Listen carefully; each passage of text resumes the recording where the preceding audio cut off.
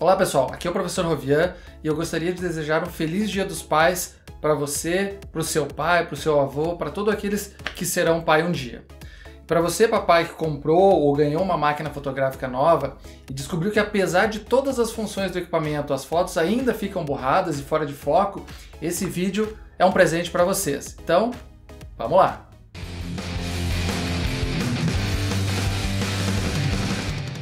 Quando eu comprei a minha primeira DSLR, eu tive muita dificuldade de entender por que as minhas fotos continuavam tremidas e às vezes fora de foco quando eu tirava fotos do meu filho. Mesmo eu configurando tudo certinho na máquina, ou pelo menos era assim que eu achava, a verdade é que algumas regras que eu havia aprendido para tirar fotos são um pouco diferentes quando os objetos estão em movimento. A regra geral que todo mundo conhece, que todo mundo fala, é que se você vai tirar uma foto segurando a máquina com a mão, sem usar o tripé, deve usar uma velocidade de obturador de no mínimo a distância focal da lente. O que, que isso quer dizer? Que se você utilizar uma lente de 50mm, então deve usar uma velocidade de 2 centésimos de segundo, ou 1 sobre 50 para uma câmera full frame.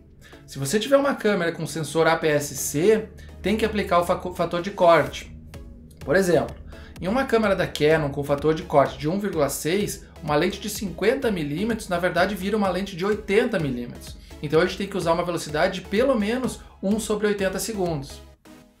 O problema é que essa regra é para objetos parados. Quando as coisas começam a se mover, tudo tem que acontecer mais rápido.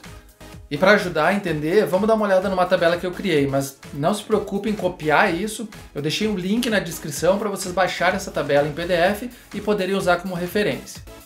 Veja que na segunda linha nós temos as fotos de crianças.